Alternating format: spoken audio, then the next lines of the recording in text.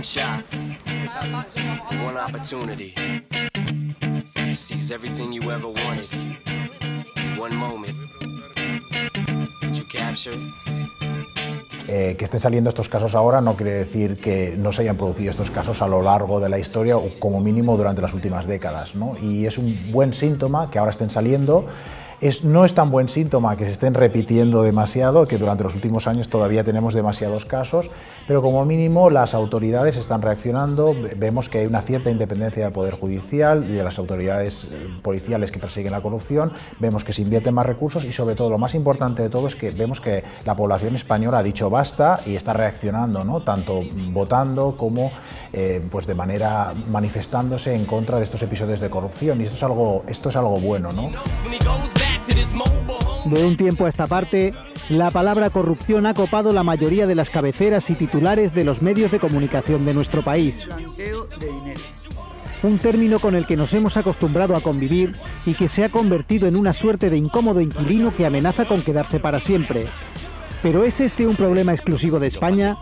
¿Cuáles son las causas de que hayamos llegado a este punto? Y en este sentido, ¿qué nos diferencia de los países del norte de Europa? Tras su paso por el aula de pensamiento político de la térmica, coordinada por el profesor de la Universidad de Málaga Manuel Arias Maldonado, hoy en tesis charlaremos con el politólogo Víctor Lapuente para tratar de desentrañar la que parece ser una de las enfermedades del siglo XXI.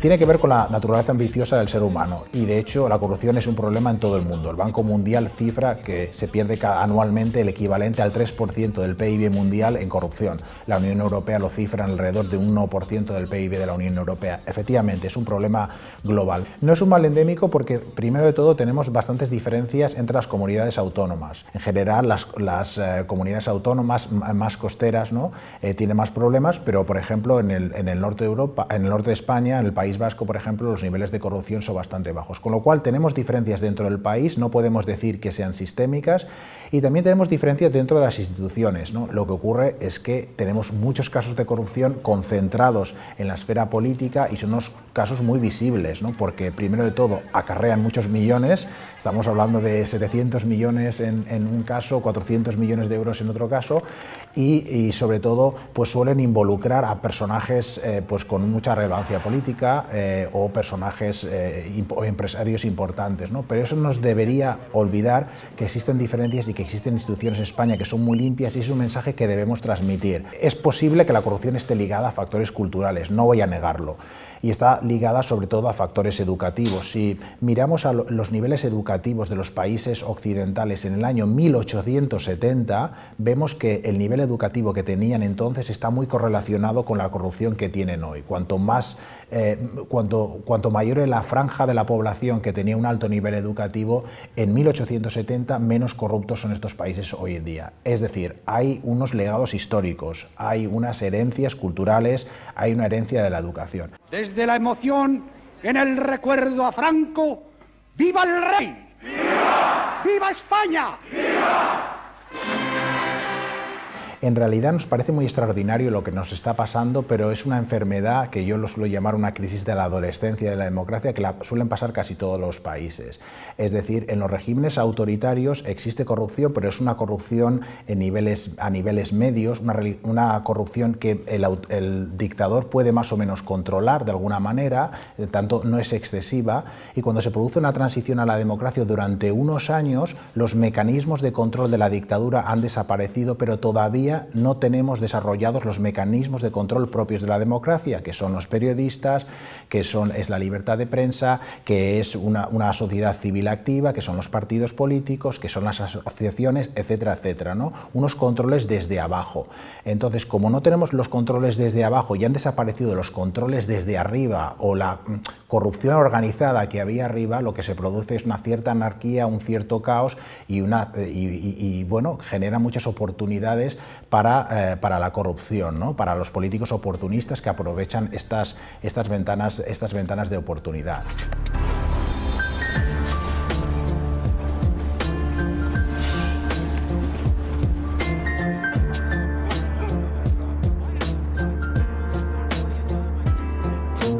Existe corrupción, efectivamente, eh, pero desde el año 2000, pues en Suecia apenas se han documentado unos 170 casos de corrupción, de los cuales solo seis afectaban a políticos y de los cuales, de esos seis, solo en tres casos se ha encontrado que el político había cometido alguna irregularidad. Y estamos hablando pues, de, pequeños escándalos, ¿no? Eh, la invitación a un político para ir a un partido de hockey, este tipo de, de cuestiones que son evidentemente ridículas y, eh, eh, en comparación con cualquier escándalo de corrupción que estamos viendo en España. Es decir, una ministra dimitió porque compró pues, unos toblerones con una tarjeta de crédito del gobierno cuando ella incluso pues, bueno, justificó que iba a devolver ese dinero, etcétera, etcétera. O sea que ni tan siquiera estaba claro que había sido una apropiación indebida de toblerones. ¿no? En el problema de corrupción tenemos una gran diferencia y eso la, y la causa radica fundamentalmente en el diseño de las instituciones y fundamentalmente la causa es que se acumula demasiado poder en las manos de un partido político. Existen países del norte de Europa donde apenas existe ley de financiación de los partidos porque a ningún empresario se le ocurriría pagar a un partido político porque sabe que no va a conseguir ningún favor porque la decisión sobre dónde vamos a poner un puente, dónde vamos a construir un centro cultural, dónde, dónde vamos a poner una cadena de, televisión o autorizar a una cadena de supermercados que abra en la ciudad, esa decisión no va a depender de un político, va a depender de un político en conjunción con una serie de profesionales que se guían por unos criterios técnicos y que van a impedir el favoritismo. Resulta más efectivo introducir estos controles institucionales, estos eh, funcionarios que controlen a, a los políticos y que no puedan ser despedidos ni promocionados por ellos y también, y eso es lo más importante quizás de todo, actuar de una manera mucho más transparente transparente. En España es cierto que ahora tenemos una ley de la transparencia, es cierto que ahora pues, los gobiernos se sienten obligados a publicar eh, mucha mayor información, los políticos tienen que declarar su patrimonio, etcétera, etcétera, pero eso es solo una parte de la transparencia. La parte, de hecho, eh, que es más, eh, más inocua para los, para los políticos. ¿no? La parte más importante no es la publicidad, la parte más importante es el acceso a la información, que cualquier periodista que sospeche que podría haber algún tipo de trato de favor, pida cualquier información, cualquier documento y lo obtenga directamente y rápidamente por parte del político, sin intermediarios, por parte del político o por parte del funcionario. Yo